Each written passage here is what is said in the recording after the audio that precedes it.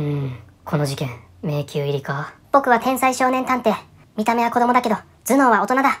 今日もこの街でまた事件が起きた。刑事さんは犯人が分かってないみたいだけど、犯人は山本さんだ。証拠も十分揃ってる。これから刑事さんを誘導して、山本さんを捕まえてやる。あのー、どうされましたか？山本さん。あの、この事件なんですけど、僕がやりました。え？え？僕が犯人です。え？すいませんでした。つい、カッとなって、あいつを殺してしまいました自首してる。嘘。天才少年探偵が、せっかく犯人まで突き止めたのに、直前で自首されてる。嘘だろ？すいません。自首します。うん、自首すんなや。え？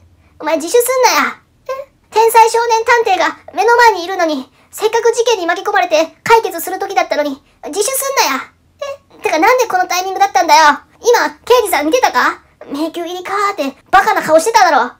え？なんでそのタイミングで自首できるんだお前は？自首します。すんなや天才少年探偵に事件解かせろや何勝手に自首してんねんほら、君、事件に関わっちゃいけない。子供なんだから。おい、ないがしろにするな天才少年探偵をないがしろにするな天才少年探偵？ああ、わかったわかった。あっち行ってなさい。ないがしろにするなやお前分かってなかった事件、僕解いてたんだぞないはいはい。そうだね、そうだね。君は大人だね。じゃあ、あっちで遊んでなさい。がしろにするなってもう、最悪だ見た目は子供、頭脳は大人、扱いは子供。ないがしろにされている。天才少年探偵、この街では事件、解決できていない。もっと頑張るぞ。